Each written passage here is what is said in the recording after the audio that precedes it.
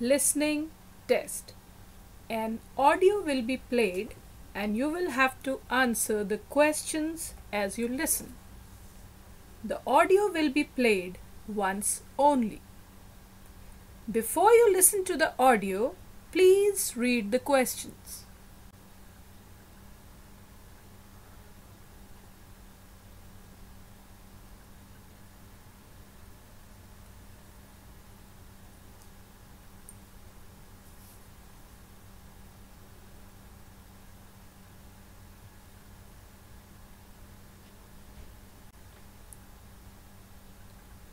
Now listen to the audio. The machine age gives us year by year more hours of leisure, but it fails to teach us how to use them.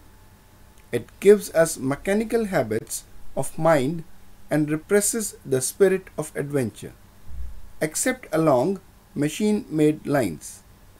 We will need our creative powers to think our ways out of the social problems which science has created for us. It is science that has given us the unexpected redistribution of the age groups. Almost every year, some modern drug adds a little more to the average span of life until the upper group is overcrowded. In the United States, for instance, there are already 9 million people over the age of 60. This talk was delivered around the 1950s. In 15 years' time, this number will reach the astonishing figure of 45 million. Who is to keep them? It will need some readjustment. This is the end of the audio. Now you have some time to check your answers.